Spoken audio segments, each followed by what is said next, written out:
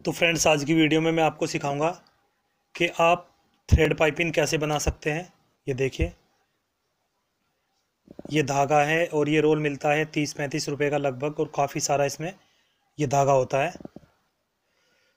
और ये हमें पट्टियाँ कट कर लेनी होती हैं और थोड़ा सा स्ट्रेचेबल होनी ज़रूरी है और एक इंच चौड़ी ये पट्टी कट करनी पड़ती है। और ये है सिंगल बूट तो ये सिंगल बूट आता है चालीस रुपये का लगभग। तो ये आपने ख़रीदना है। क्योंकि जब थ्रेड पाइपिंग बनाते हैं तो इस वाले बूट से ये नहीं बनती है, क्योंकि सिलाई इसकी बिल्कुल जड़ में चलानी पड़ती है। वो मैं दिखा देता हूँ अभी। तो ये बूट हम चेंज करेंगे।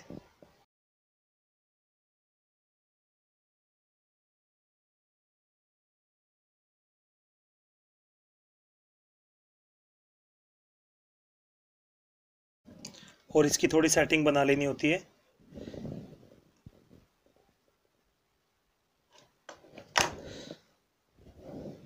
ताकि ये बिल्कुल सुई के बराबर आ सके। ये देखिए, इसको थोड़ा और इधर कर लेते हैं।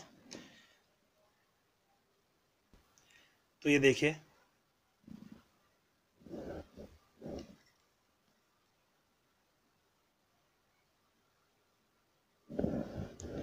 सबसे पहले हमने क्या करना होता है? धागे को हमने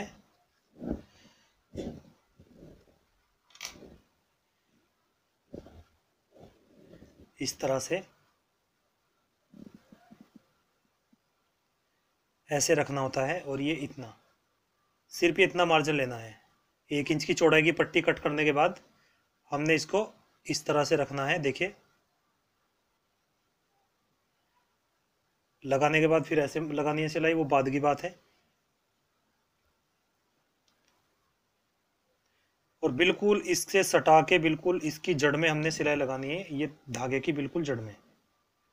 ठीक है?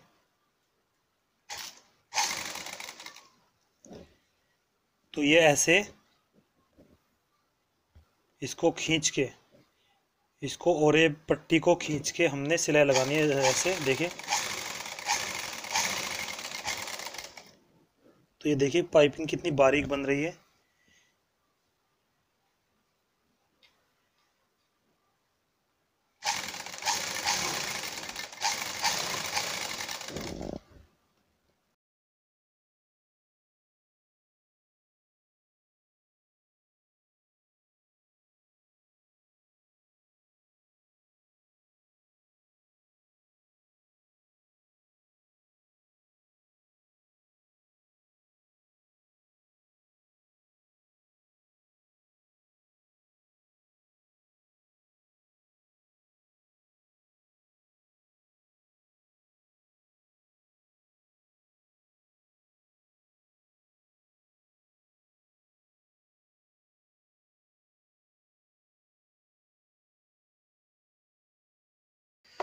तो देखिए फ्रेंड्स तो इस तरह से ये बना लेनी होती है।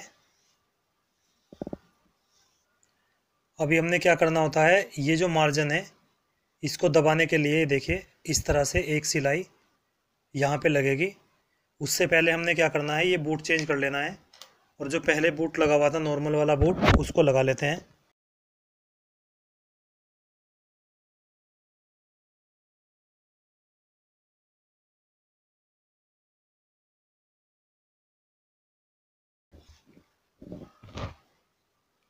अब हमने इस मार्जिन को ऐसे दबाते हुए सिलाई लगानी है देखिए।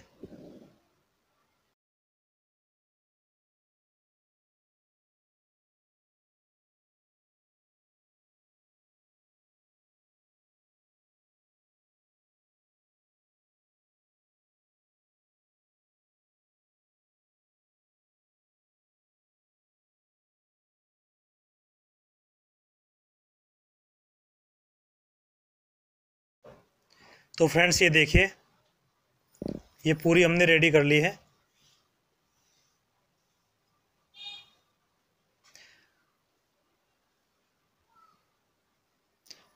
अब हमने इसको लगाना कैसे होता है, वो भी आप जान लीजिए।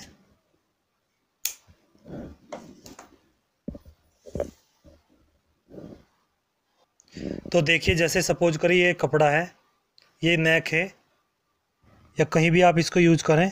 तो ये देखिए, जिधर ये मार्जिन वाली साइड है ये, कच्ची साइड इधर फ्रेश है तो इधर से देखो, कच्ची वाली साइड को दबाना है, जिधर हमने अभी भी सिलाई लगाई देखिए, इसको ऐसे रखना है, ऐसे, देखिए, बिल्कुल ऐसे रख के और इसको सटा के लगाना होता है, किसी भी नेक में आप लगाएँ किसी भी डिजाइंस में तो ये हर तरफ़ घूम जाती है, हर पैच पर घूम जाती है। ये देखिए।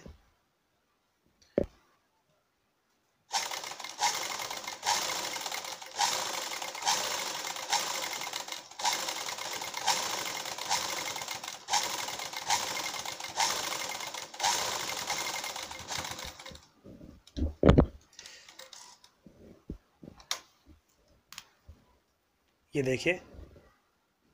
इस तरह से यह लगानी होती है। किसी भी पैच में, किसी भी नेक में, आप किसी भी तरीके से इसको, आप घुमा सकते हैं। ये ये हर पोजीशन में घूम जाती है। ये, ठीक है, क्योंकि ओरेब कटी हुई है और स्टेप स्ट्रेचेबल होती है ओरेब तो ठीक है फ्रेंड्स आपने सीखा कि पाइपिंग कैसे बनाई जाती है और कैसे उसको यूज़ किया जाता है लगा के। तो वीडियो अगर पसंद आई हो तो आप इसको लाइक ज़रूर कीजिए और चैनल पर अगर आप पहली बार आए हैं तो चैनल को सब्सक्राइब करके बेल बटन ज़रूर दबाएँ, ताकि जब भी मैं कोई वीडियो अपलोड करूँ, उसकी जानकारी आपको तुरंत मिल सके। तो ठीक है फ्रेंड्स बाय बाय